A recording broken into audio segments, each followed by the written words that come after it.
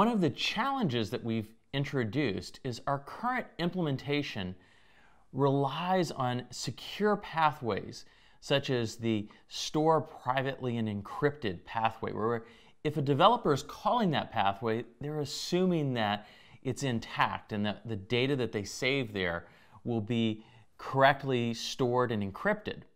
But the problem is, is with our current implementation, there's no guarantee that the data will actually be stored correctly. And the reason is, is that this secure pathway relies on the underlying handler mapping being correctly configured in order to operate properly.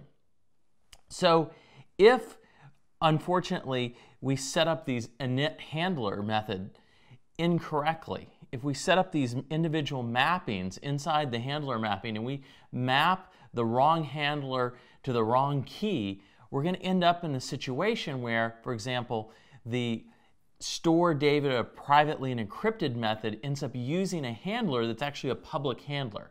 And this is a simple the mistake that could be made. It's a configuration mistake, but it could actually break the underlying implementation of that secure pathway. Another challenge that we face here is that our handler mapping isn't immutable. That is, it is an actually a, a data structure that can be changed at runtime. And whenever we have a secure pathway that relies on some data structure that can be changed at runtime, we open ourselves up for the possibility of attack or the possibility that due to some bug, that secure pathway might be compromised in certain execution scenarios.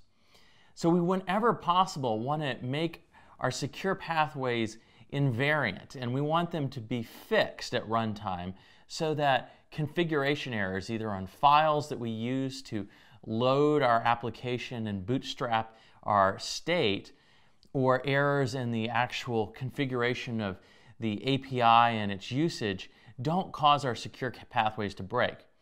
This is particularly important because we've taken so much effort to make our abstractions obvious. So we've made our abstractions and which methods should be called to be secure really obvious.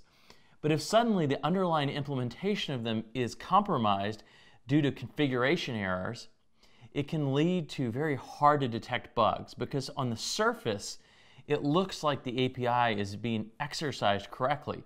But underneath the surface, the configuration of it is actually not enforcing the rules correctly. And so what looks like correctly secured code is not. So the way that we can improve this is by trying to make our secure pathway something that is decided at compile time. We don't want runtime errors or configuration decisions that are made to affect that secure pathway. The simple way to do it in this case is to change our get private encrypted storage handler method to not use the handler mapping at all, but instead to directly instantiate the appropriate handler, in this case the private storage adapter, in order to make sure that it's always returned correctly.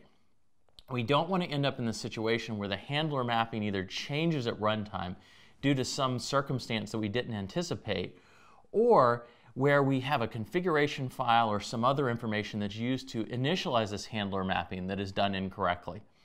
We want to have pathways that are secure and that are secured at compile time and that have unit tests and other tests applied to them to make sure that they're always exercised correctly and that they always provide the security guarantees that we want. So by using this implementation and this design change where we're going to directly instantiate the appropriate handler, it greatly improves our trust in these security pathways since they're not exposed to configuration errors. Now some of you may say, but yes, aren't we going back though? Why aren't we tightly coupling our code and removing some of these wonderful patterns and abstractions we've learned to use? Well, in this case, I don't think that's actually the case. What we are doing is we're still using the storage handler interface to decouple the different parts of our code. But we're being smart about where we apply that decoupling and configurability and modularity. We don't want that decoupling and, and configurability to be present in our secure pathway in a way that makes it possible that our secure pathway could be compromised due to an error. We want that decoupling to be present to allow us to plug in different implementations, but we want to be able to check those implementations and test them, and we don't want to expose that pathway to configuration errors. So it's not that we are building tightly coupled code, it's that we're building code that's modular, but modular in the right places.